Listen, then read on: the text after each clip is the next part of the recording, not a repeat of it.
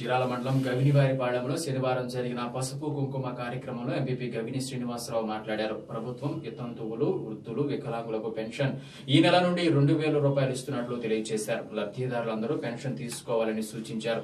ఎవరైనా ఇబ్బందులుంటే తమ దృష్టికి తీసుకురావాలని తెలియజేశారు.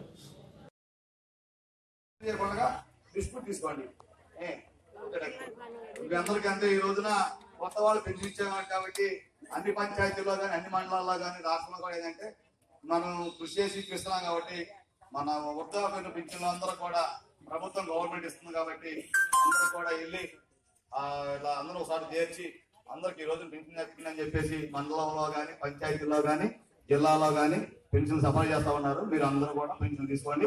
ఇంకేదైనా ఇబ్బంది కలగడం మాత్రం మా దృష్టికి తీసుకుంటే ఆల్కొడిపిస్తాం